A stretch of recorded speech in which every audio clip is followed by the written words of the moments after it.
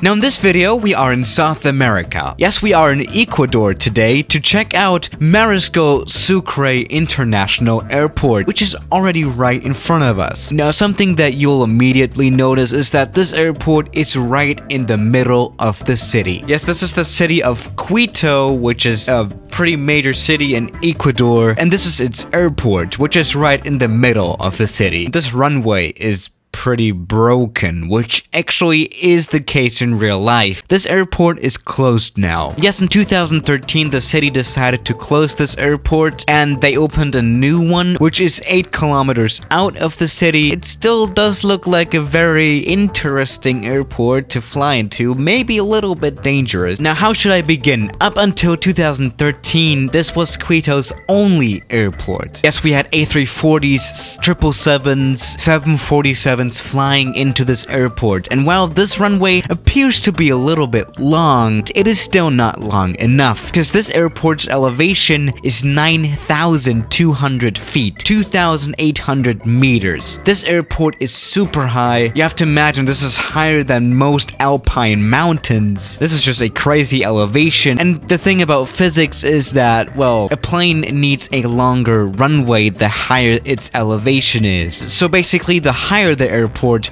the longer the runway. But this runway is just a typical runway. It's even shorter than most international airport runways. And obviously this airport couldn't expand the runway really. I mean... Where? Now let's try taking off the 737 on this closed runway, which is also very broken. Actually, the airport is right now being turned into a park. In real life, right now, most of the runway is already gone. Yeah, I might flatten the runway later on.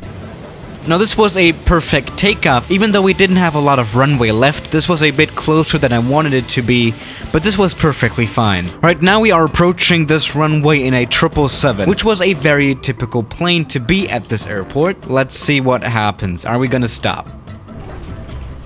Okay, we have actually touched down. Let's try stopping now. I mean, the 777 is not even the biggest plane, but we are still almost at the end of the runway and we have not stopped yet. That can be very, very dangerous. And well, on a runway like this, overruns can happen very, very quickly. They have happened before. For example, in 2007, an A340 overran the runway.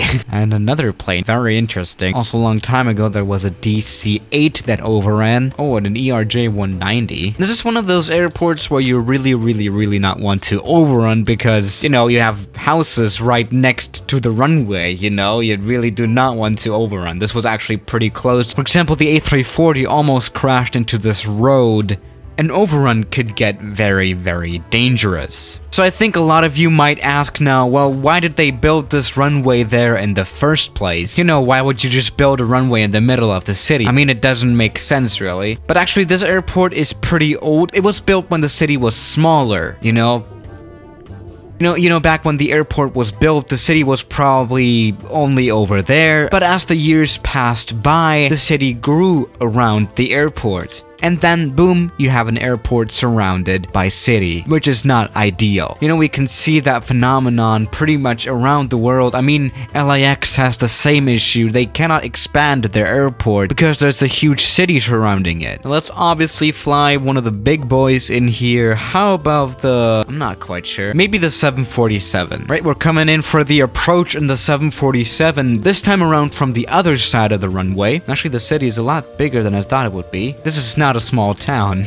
it probably used to be when the airport was built, but that is not the thing anymore. So yeah, I'm pretty glad that this airport is finally down. You know, there were a lot of accidents happening, and the location isn't really practical, even though it's nice to have an airport that's very close to the city. Damn, the elevation is really up there.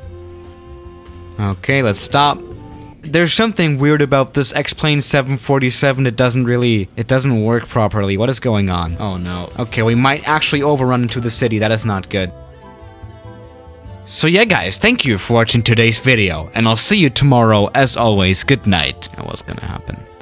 Oh, it took off. Uh, whatever.